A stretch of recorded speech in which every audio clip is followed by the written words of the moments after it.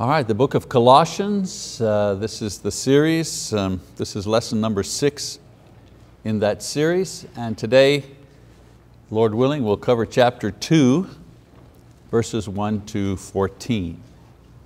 A little bit of review here before we start. In our last lesson, uh, we uh, talked about the idea that Paul completed his explanation uh, of his main theme, that uh, Christ is first or preeminent and in the first uh, few passages, uh, he describes Christ as being preeminent in all relationships. In other words, um, in a chain, and I remember giving you this image last time, in a chain that links God to man, Jesus is every, is every link.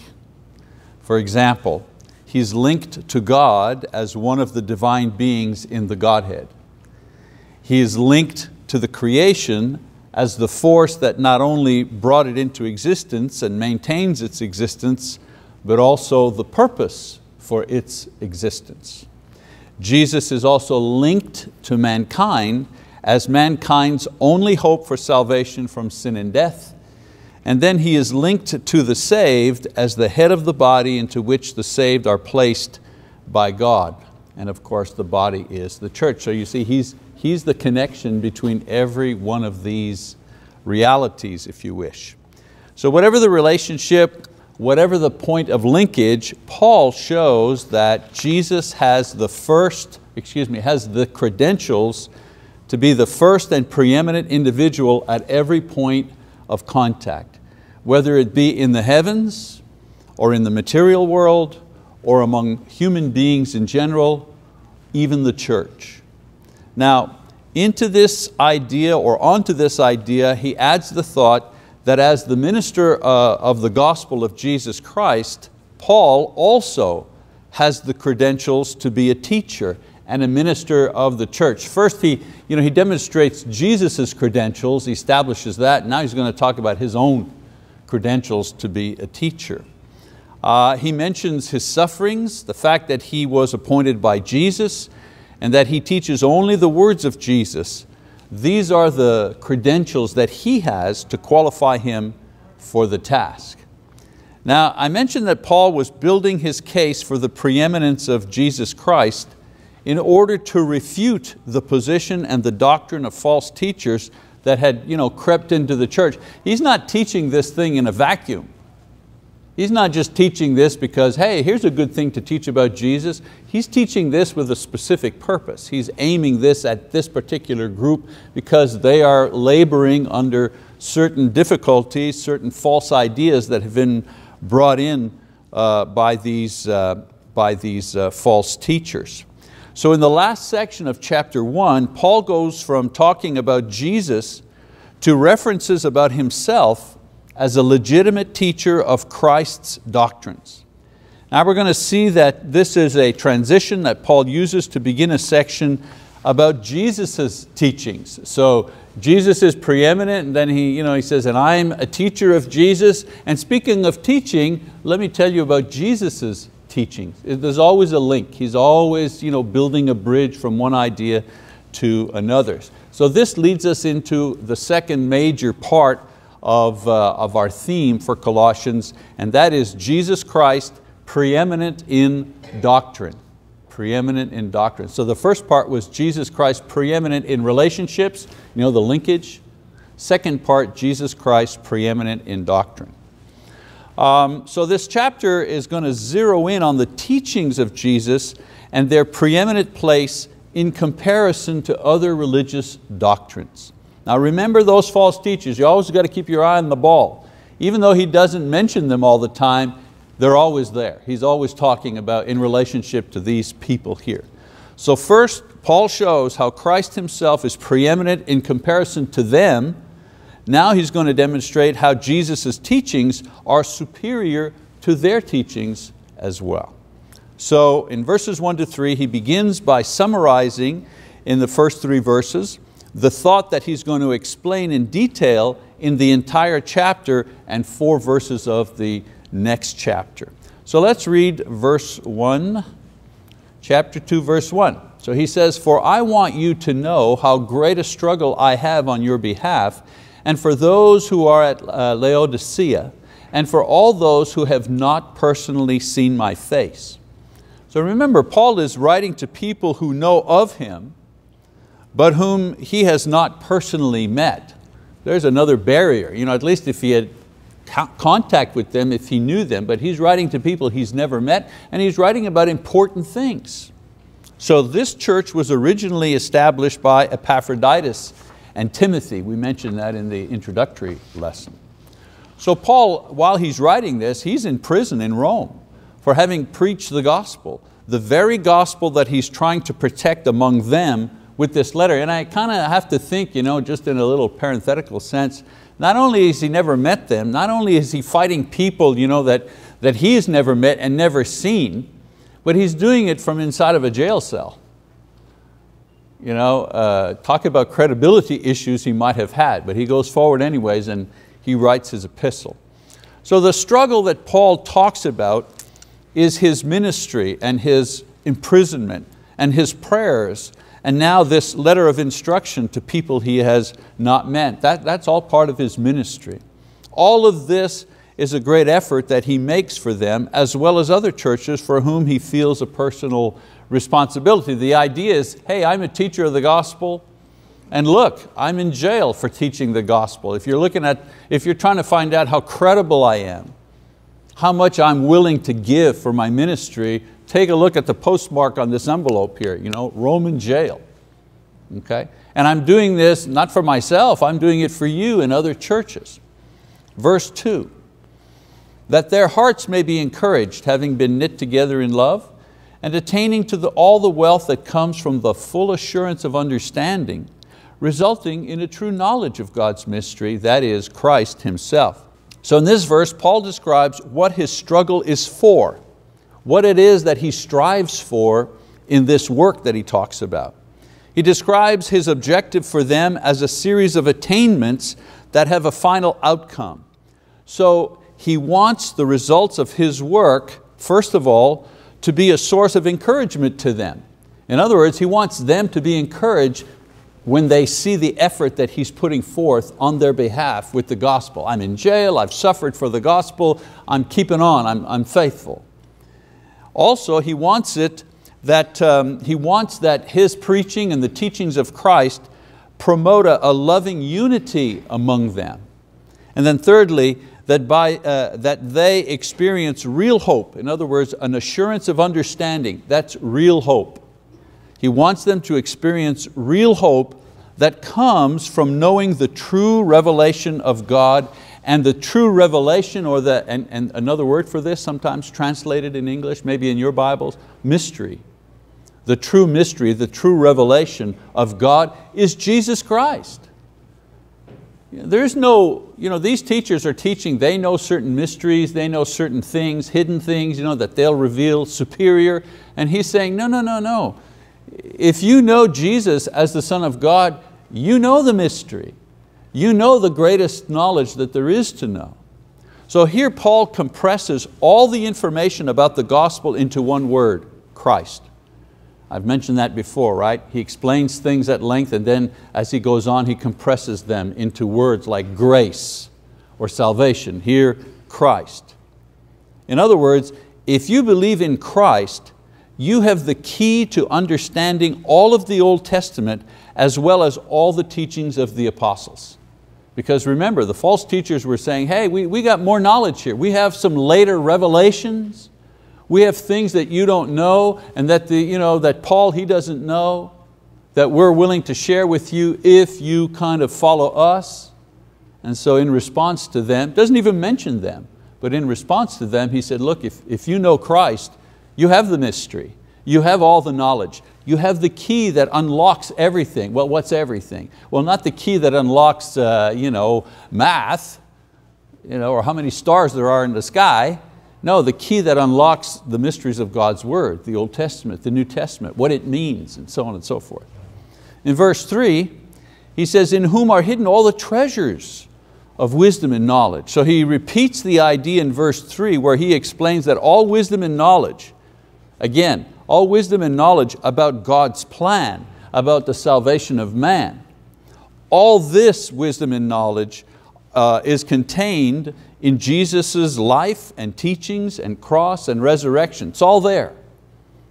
It's not earthly wisdom about science or math, I mentioned that before. It's heavenly, spiritual wisdom that pertains to man's condition and man's salvation. So, as I said, Paul begins by stating that as far as uh, uh, wisdom and knowledge and teaching is concerned, Jesus is the embodiment of all revelation, something that man, regardless of his intelligence, cannot compete with. It doesn't matter how smart you are, you can't figure out Jesus Christ unless it's, unless it's revealed to you by God. No matter how smart you are, you can't figure out the plan, God's plan of salvation you know, by sending His Son, vicarious atonement, all those things. You can't figure that out through wisdom and knowledge. And we have the proof of that because the Jews, probably the most educated uh, nation of their time, they didn't figure it out, they rejected Him. So in verse 4 or 5, he says, I say this so that no one will delude you with persuasive argument. For even though I am absent in body, nevertheless I am with you in spirit, rejoicing to see your good discipline and the stability of your faith in Christ. So Paul states that he has established Jesus' teachings as revelation so that they will not be persuaded to abandon these teachings from other form of doctrine. Remember, the false doctrine that's swirling around them. Persuasive argument is the manner in which these false teachers were drawing brethren away through arguing, through smooth talk. They, did, they didn't have a new revelation, but they were smooth talkers. They were good debaters. They would use these tactics to fool and confuse and delude the brethren and thus make them begin to doubt the gospel. So even though he warns them, Paul's quick to also commend them for their personal discipline. In other words, they have self-control. And I don't mean self-control as to food or sex or whatever. No, no, they have self-control because they're, they're remaining steady in their faith. They're not, you know, every wind of doctrine, right? They're not bouncing around from one idea. They're steady, they're holding steady.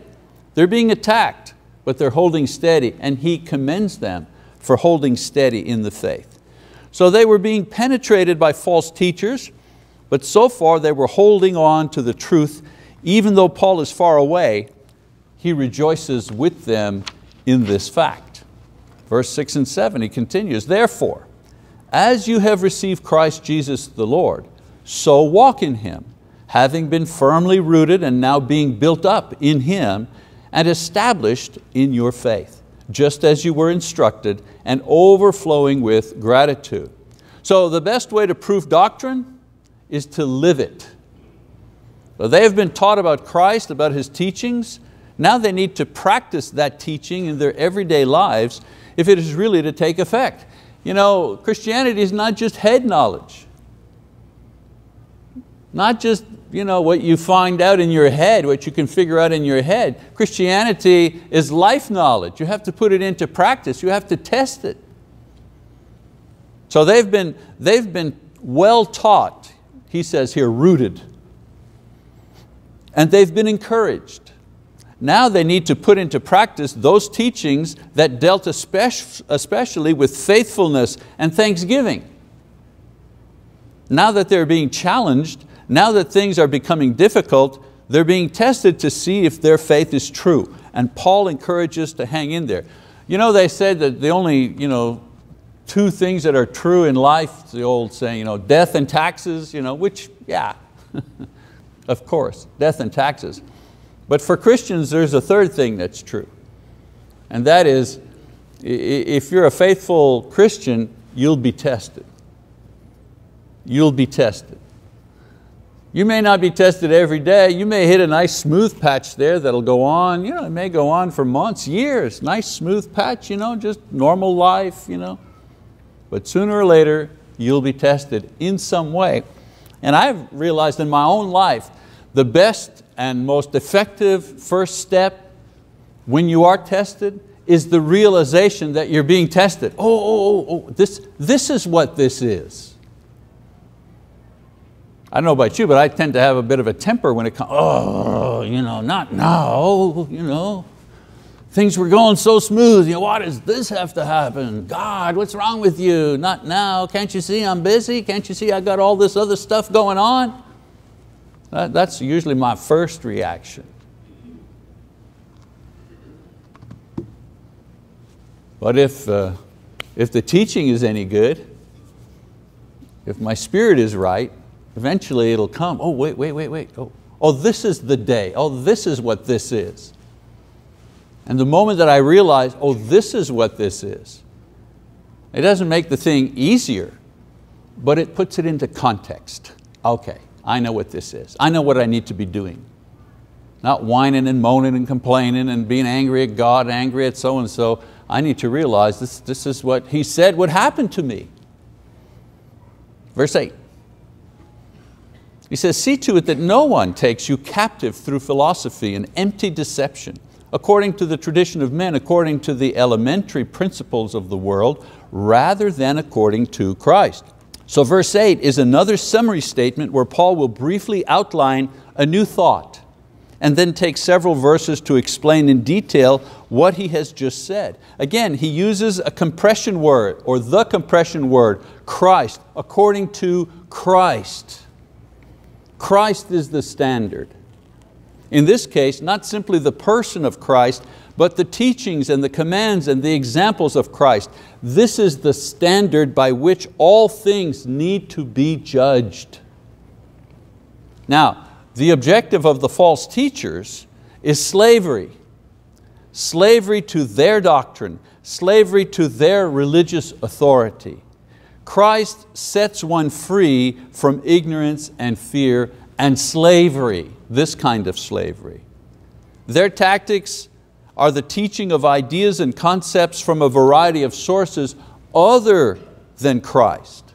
And Paul mentions a few, philosophy or concepts that are really an empty show or deception based on lofty notions about man-made rules concerning the way the world works. We call it philosophy today. Not all philosophy, but much of philosophy is what? Explaining the world without God. Explaining the world without God. Now, during this time, there was speculation that the angels somehow controlled the basic elements, fire, rain, thunder, so on and so forth, and that these should be worshiped and they should provide some sort of oversight the worship of angels. So these Judaizers, these false teachers, were not necessarily educated men, but they were making a show of their learning by putting forth these, quote, new ideas based on man-made philosophies involving angels and the manipulation of nature. Well, the manipulation of nature, you know what that is? That's magic. You try to manipulate the unseen world so that the unseen world will give you advantage in the seen world. And from this new worldview, they were inventing rules for living, which robbed the Colossians of their freedom in Christ.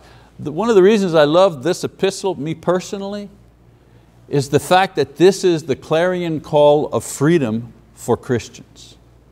You know Colossians, if you know Colossians, the book of Colossians, no one will ever imprison you, you know, intellectually or religiously as these people uh, were in danger of being at that time. So Paul says that the Colossians should not be held responsible to any teaching that does not have as its source the teachings of Christ. Verses 9 to 15, he's going to give four reasons why this should be so. Why should you not ascribe to any other teaching other than the teachings of Christ? Four reasons. Number one, Jesus is divine. He says, for in Him all the fullness of deity dwells in bodily form. Anybody who says to you, where does it say in the Bible that Jesus you know, is the Son of God, that Jesus is divine, right? Colossians 2.9. Memorize it, Colossians 2.9. For in Him all the fullness of deity dwells in bodily form. You can't make that say something else. it says what it says. So the teaching of Jesus, therefore, is the teaching of God. Why? Because Jesus is God in human form. To follow His teaching is to follow God's teaching. And it shouldn't be replaced with the false doctrine of these other teachers, no matter how spiritual they seem to be. Secondly, four reasons why they should remain free. Two, they are complete in Christ. Verse 10a, and in Him, this one in whom the fullness of deity dwells, and in Him you have been made complete. By connection to Christ, who is divine, they have access to all that divinity offers. And what does divinity offer? Revelation, wisdom, salvation, blessings, eternal life. You know, we can just list them all. They have no need of additional teaching, additional saving.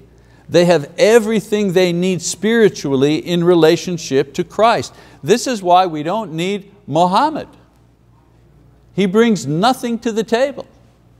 He, and you know what, if we live long enough, I mean, if we do live long enough, there'll be some other person come in. It's always the same thing. Someone comes up and has a special knowledge. Oh, they had a vision, they had a revelation, they got some new news about God in some way, and they, they attract followers. You know, they're always saying, a billion people you know, follow Mohammed. So what? So what? A couple of billion people are atheists. Does that make them correct? It's not a numbers game. Jesus told us the way is narrow. If he would have said, you know, oh, the way, the way to eternal life, the way to Christ is very broad, very wide. Well, okay, I get a little nervous. You know.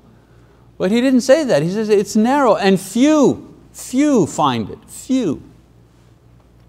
That was back in the first century, in the fifth century it was true, in the ninth century, in the 16th century, in the 21st century, and it'll still be true in the 25th century if, if we last that long. If Jesus doesn't return. Don't you know that by the 25th century there'll be some new guru, some new religious leader, some new prophet that'll you know, pop up and, and say, oh, I, I've got the knowledge. I've got, I've got what you're missing. And yet 2,000 years ago, Paul said, no, no, no, no, no, no. You're complete in Christ. It's done. It's done. No need of additional teaching, additional saving. Everything you need concerning your salvation, your eternal life, everything you need, you have it in Christ. Four reasons they are free. Number three, Jesus is ruler of all verse 10b, and He is the head over all rule and authority. Notice here he's not saying He's the head of the church. He's the head over all rule and authority. One day Mr. Putin will answer to Him. And the, the dictator in North Korea will answer to him. As will Abraham Lincoln answer to him, as will uh, uh, President Obama answer to him. Because if I'm not mistaken here, it says, and he is the head over all rule, all authority. From the president of the most powerful nation on earth to the leader of a tribe in some you know, developing nation. All rulers, all authority answer to Him. So by saying head over all rule and authority, Paul says in effect that Jesus is Lord of lords, King of kings, sovereign over everything. If Jesus is their head as, or Lord, then there's no need for another head. No need for anyone else to take that position as the Judaizers were trying to do. Remember, keep your eye on them. That's what they were trying to do. They were trying to become the leaders, the head over these Christians. And they were doing it with talk of angels and secret knowledge and so on and so forth. You have everything you need. Most times people you know, who are converted away from Christianity to some other religion, usually it's because they don't even know their own religion. They don't really know about Christianity. Number four, Jesus is the Savior. finally, Paul explains the most important reason why they should only follow the teachings of Christ. He is their Savior. You know, the Judaizers, the false teachers, they were boasting that their circumcision and their adherence to laws on feasts and food made them superior, made them holier than their Gentile counterparts who simply trusted in Christ. And thus they were worthy to be obeyed and followed. So Paul shows that the salvation they have in Christ has a greater value than the mere boasting in circumcision made by the Judaizers. For example, circumcision, you know, it was of God, yes. It was the sign of the promise that God made to Abraham, which Jesus fulfilled with His appearance. But these men were using it as a kind of a badge to boast of their religious superiority. Those who are circumcised, they're with us. And these people, we have the secret knowledge, we're the superior ones. So let's read how he says it. And in him, he says, you were also circumcised with the circumcision made without hands, in the removal of the body of the flesh by the circumcision of Christ, having been buried with him in baptism, in which you were also raised up with him through faith in the working of God, who raised him from the dead. So fleshly circumcision removed an actual piece of flesh from the body as a sign of a spiritual promise of God. Paul says that through Christ, what is cut away is the body of flesh, meaning the old person of sin. Remember I've also mentioned to you that in the Bible many times they refer to the same thing with different terms. Well here he's using the idea of the body of flesh. In another place he's talking, he uses the same, he uses a different term, you know, the old person of sin, the old man. In other words, the old man is taken away, is separated from you. The old nature that loved and served sin, this is removed by Christ through His efforts on our behalf. He then describes the physical or the historical moment when this spiritual circumcision takes place and that's baptism. You know, physical circumcision took place eight days after the, uh, the male child was born. We read about that in Genesis 17 verses 10 to 14. There was a specific time, historical moment when that circumcision took place, eight days after birth. Well, uh, uh, uh, baptism here is not just a promise or a symbol, it's the actual moment when the old man is removed and the new person is raised. It's where and how our faith in Christ is properly expressed. Paul says that what happens to us in baptism is verified and guaranteed, how? By the resurrection of Jesus. I mean, I'm baptized because I believe and I obey Jesus. And I have hope in what He's promised me. And why is my hope secure? Well, because he raised, He's raised from the dead. And He's told me, you see what happened to me? That's going to happen to you. That's what will happen to you. So Paul says that what happens to us in baptism, again, guaranteed by the resurrection of Jesus, we are raised and renewed in baptism by the same godly power that raised Jesus from the dead. Paul talks about that in Romans chapter 8.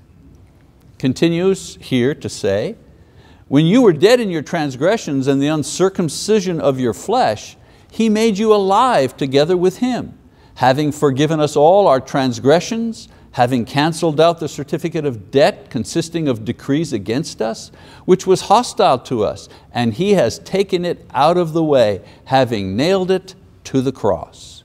So in these two verses, Paul explains the value and the importance of this spiritual circumcision that we receive at baptism. It transforms them from death to life he equates uncircumcision with being spiritually dead. In the same way in the Old Testament, right? If you weren't circumcised, you were not part of the people of God. And so you were spiritually dead. You, you were not an inheritor of the promises. Well, he explains that they were spiritually dead because they were guilty of transgressing God's law, God's decrees, which said in effect, if you sin, you die. So Paul says that they were made alive through the power of forgiveness.